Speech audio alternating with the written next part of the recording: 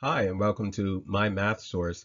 Uh, in this video we are going to cover a distant rate time problem and specifically we're going to be dealing with a specific type of uniform motion. Now uniform motion is basically when an object is moving without changing its speed or rate.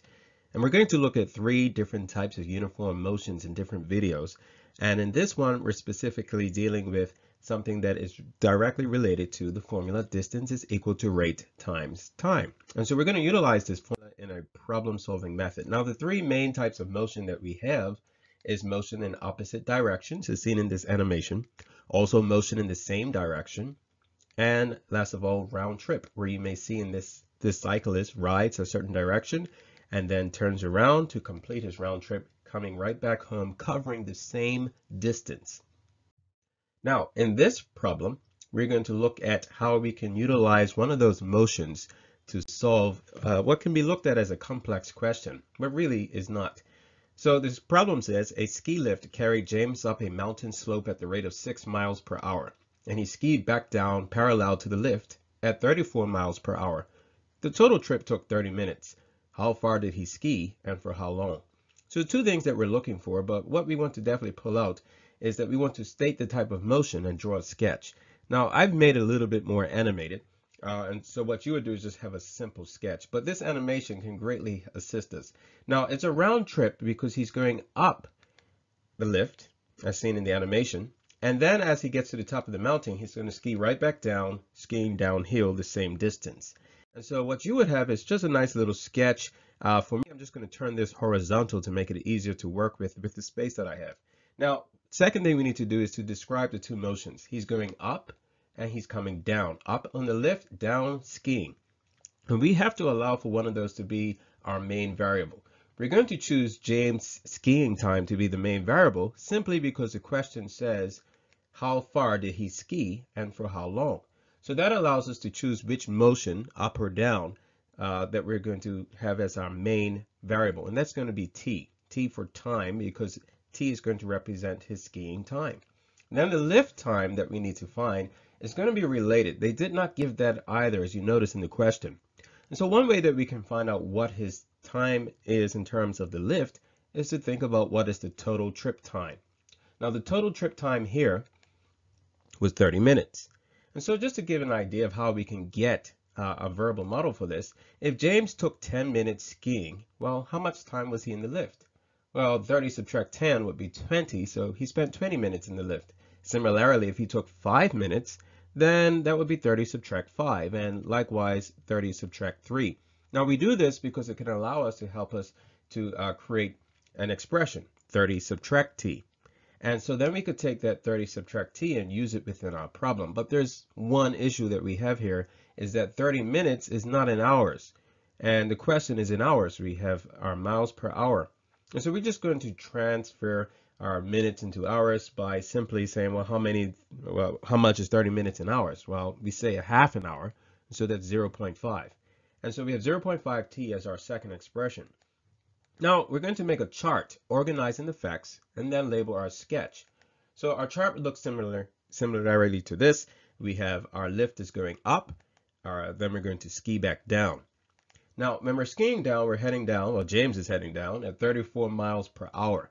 Now, the time that it took him to get down there, well, we just found that to be t. And so since distance, as we saw in our very beginning, is equal to rate times time, that's simply 34 times t, or 34t.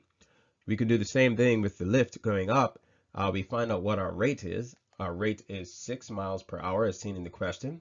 And our time, we just found that expression to be a half an hour subtract whatever his skiing time is, or 0.5 subtract t. Our distance is simply the rate times the time, and we have to be careful here because our time is an expression, so we have to say 6 times the quantity, 0.5 subtract t. The order of operations, or PEMDAS, really comes into play here. Now we're going to utilize our thinking caps a bit more. Uh, we're going to now use the sketch and table to write the equation that will help us to solve for t.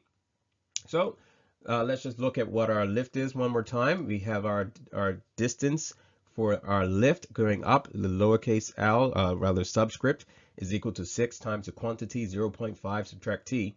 And then our skiing down, and I put here d subscript s to represent our distance going down by skiing is 34t. So just thinking about it, what can we say about the distances going up and skiing back down? Now remember, I made mine a bit horizontal for space, but if you look at the dimensions, or basically the distance, they are the same. And we can use that, the concept that our distances are equal, to come up with our equation.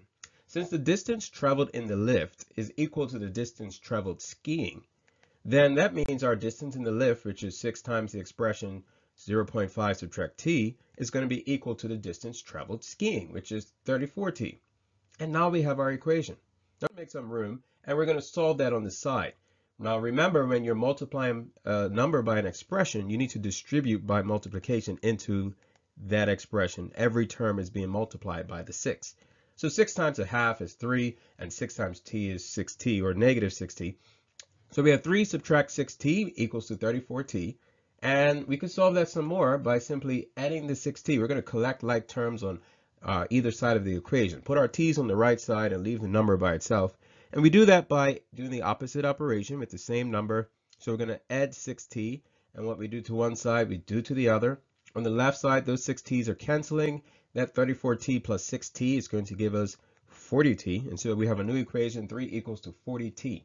Now we want t by itself, so we want to uh, divide because that's the opposite operation that's going there. So we're going to divide by the same number, and what you do on one side of the equation, do to the other.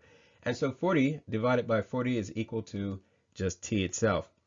So we have t equals to 3 over 40. Now that represents, we want to make sure we write it down sometimes, our skiing time in hours. And so if we wanted to know what it was in minutes, we can simply just do a quick conversion by simply saying 3 40th of 60 minutes. And, you know, because we want to make sure we get the proper rate, we can put 3 40th of an hour times 60 minutes in an hour per hour. And our hours cancel out, and we simply get four and a half minutes when we multiply that. You can use a calculator to do that. And so we have four and a half minutes. So that means we have how long it took. We just need to find out how far and that can be quickly found by substituting back into our formula. So I just modified our chart a bit by putting miles per hour. I really like to have our units there so that they cancel out correctly and we don't get the units wrong. So we have 3 fourths of an hour. So when we times our rate times that 3 fourths, 3 40th, sorry, of an hour, we're going to have our hours to cancel out and 34 miles times the 3 40th gives us 102 over 40 miles. We could quickly find that answer, and that equals to 2.55 miles. And there we have it. Our answer is James skied for 2.55 miles and for four and a half minutes. And that's how you do a problem of that nature.